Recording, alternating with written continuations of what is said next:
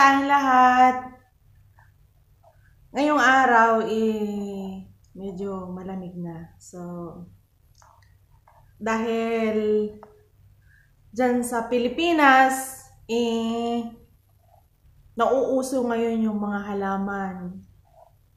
Napapansin nyo ba yun, guys?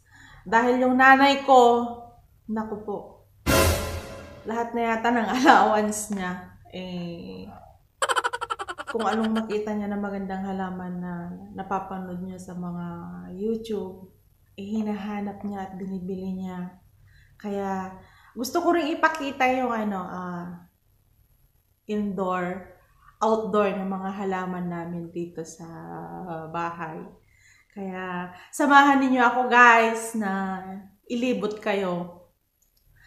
So, bagong lahat, huwag niyong kalilimutan na subscribe at pindutin yung notification bell para lahat ng video po eh makikita nyo at maraming salamat po sa lahat na nagsusubscribe at um, nanonood sa mga video ko na talaga naman maraming maraming salamat po.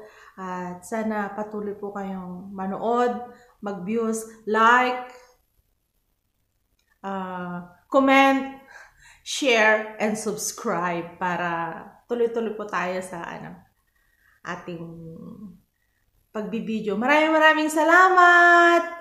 So, tara guys!